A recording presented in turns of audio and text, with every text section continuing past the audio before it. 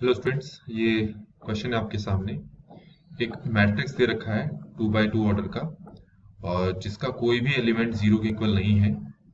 पर उस मैट्रिक्स का जो स्क्वायर है, वो आइडेंटिटी मैट्रिक्स के बराबर है। साथ ही साथ जो स्मॉल ए है, वो कहा है कि वो sum of all the diagonal elements हैं ए का। और डिटरमेंट ऑफ़ ए आपका बी के बराबर है। आपको इसकी वैल्यू निकालनी है।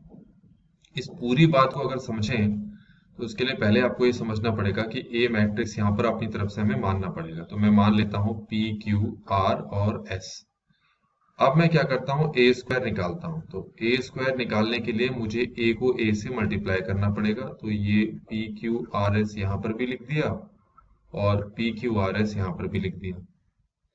अब इन दोनों को मल्टीप्लाई करेंगे। तो आप खुद देखें यहाँ पर आएगा पी स्क्वायर प्लस क्यू हाँ यह आएगा P square plus Q R यहाँ पर आएगा P Q plus Q S यहाँ पर आएगा R B plus S R और यहाँ पर आएगा हमारे पास क्या आएगा? यह आएगा R Q plus S square ठीक हो गया यहाँ तक? अब अगर आप देखें तो आपको ए स्क्वायर आइडेंटिटी मैट्रिक्स के बराबर दे रखा है। तो ये जो ए स्क्वायर है, ये वन ज़ीरो ज़ीरो वन के बराबर है। और यहाँ पर हमारे पास P square plus Q R नीचे R P plus S R यहाँ पर P Q plus Q S यहाँ R Q plus S square है ना? अब दोनों को अगर मैं इक्वल रखूँ तो P square plus Q R जो है वन के इक्वल आ गया। R Q plus S square ये भी वन के इक्वल आ गया।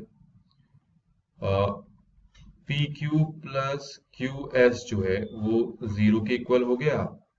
R P plus S R ये भी ज़ीरो के इक्वल ये ज़ीरो के इक्वल हो गया और ये भी ज़ीरो के इक्वल हो गया। यहाँ से क्या कॉमन आ रहा है? क्यू और अंदर क्या बचेगा आपके पास? अंदर बचेगा P प्लस एस है ना? इक्वल टू ज़ीरो यहाँ पर देखिए, यहाँ से R कॉमन आएगा, अंदर बचेगा P plus S equal to zero देखो, Q तो ज़ीरो के इक्वल हो नहीं सकता तो इसका मतलब P प्लस एस ही ज़ीरो के इक्वल होगा।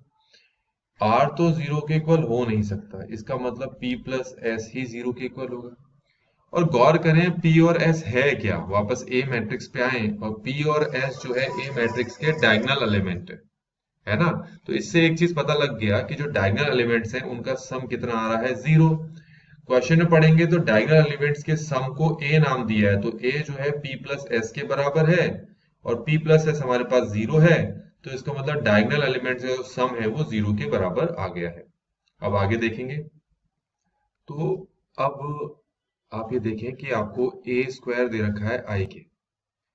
तो अगर मैं डिटरमिनेंट निकालू A square equal to I तो ये वन होगा। ये ध्यान रखना कि ए स्क्वायर का डिटर्मिनेंट अगर वन है, नहीं, ये नहीं। मतलब ए स्क्वायर मैट्रिक्स का डिटर्मिनेंट या फिर डिटर्मिनेंट ए का स्क्वायर दोनों एक ही मतलब होते हैं। तो इसका मतलब हो गया कि ए स्क्वायर आपके पास वन और ए की वैल्यू आपके पास प्लस माइनस वन ठीक हो गया? अब हमारे पास ये किसके इक्वल है? बी के इक्वल है तो बी की वैल्यू प्लस माइनस वन आ गई। और ए की वैल्यू मैंने नीचे प्रूव करके बता दी, वो कितनी आ रही है? ज़ीरो अब ये बी की वैल्यू यहाँ पर पुट करो तो आपको पता लगेगा कि आपके पास ए की वैल्यू ज़ीरो पुट करो बी की वैल्यू प्लस माइनस वन तो आपके पास ओवरऑल आंसर कितना आएगा? फोर आएगा। तो ये जो फोर्थ फ़र्स्ट ऑप्शन है, वो हमारे आंसर से मैच करता है।